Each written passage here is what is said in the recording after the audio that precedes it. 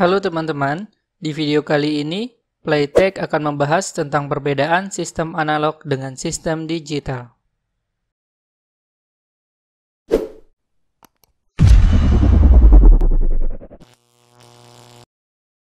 Sebelum masuk ke pembahasan utama, kita perlu tahu dulu tentang apa itu sinyal.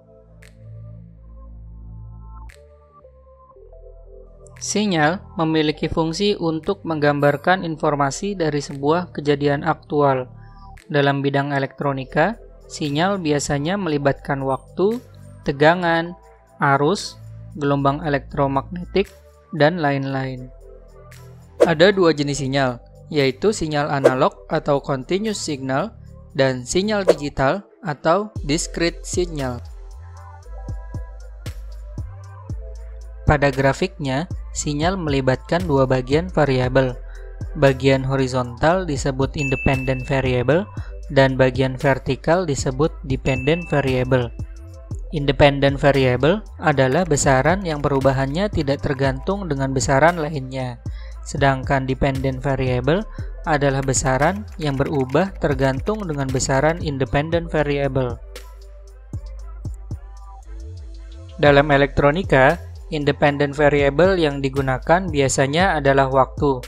Waktu termasuk independent variable karena waktu terus berubah secara konstan tanpa dipengaruhi oleh besaran fisik apa pun. Sedangkan dependent variable bisa bermacam-macam tergantung dari nilai apa yang ingin kita amati.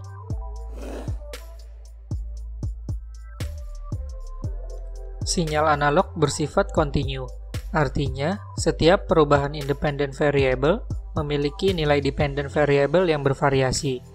Contohnya jika kita mengamati perubahan nilai pada titik hijau ini, maka kita akan mendapati bahwa nilai berubah secara bertahap. Sedangkan dalam sinyal digital, besaran fisik digambarkan dengan nilai 0 atau 1 atau secara diskrit. Perubahan nilai dari 0 ke 1 atau sebaliknya terjadi secara instan dan tidak ada nilai lagi di antara keduanya. Setelah mengetahui perbedaan sinyal analog dan digital, sekarang kita ke sistem analog dan sistem digital.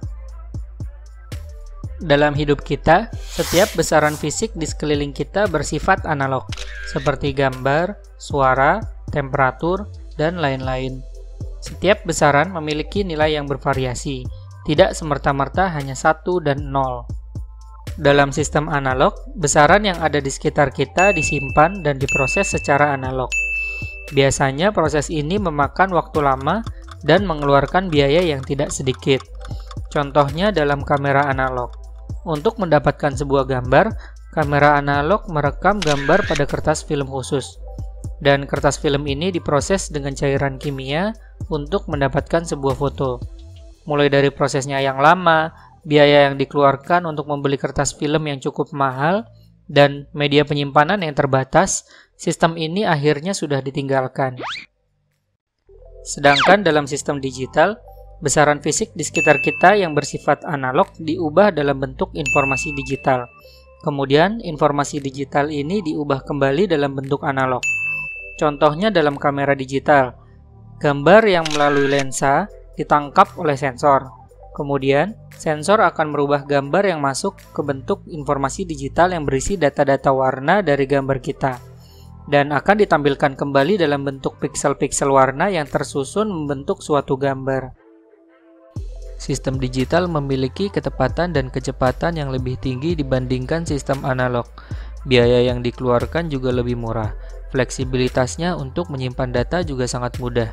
Kalau dalam kamera analog kita menggunakan album untuk menyimpan film-film, dalam kamera digital kita hanya perlu menggunakan drive dan bisa menyimpan ratusan sampai ribuan gambar di dalamnya.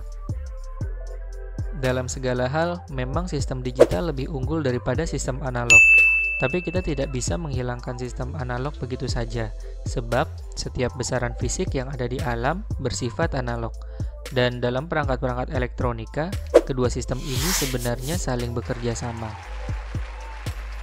Dalam sistem digital, diperlukan konverter untuk merubah besaran fisika yang ada di alam ke dalam bentuk digital atau ADC. Biasanya, ADC dilakukan oleh sensor. Sensor akan menangkap besaran fisika yang ada di sekitar dan akan dirubahnya ke dalam bentuk data digital untuk dilakukan proses pengolahan data. Contohnya adalah sensor cahaya. Misal, kita anggap cahaya yang ditangkap memiliki rasio 0 sampai 5. 0 artinya gelap dan 5 adalah sangat terang. Jika sensor yang kita gunakan adalah 8 bit, yang artinya memiliki 8 digit nilai digital dengan nilai maksimum 255, maka sensor akan menerjemahkan cahaya gelap adalah 0 dan akan menerjemahkan cahaya yang sangat terang menjadi 255.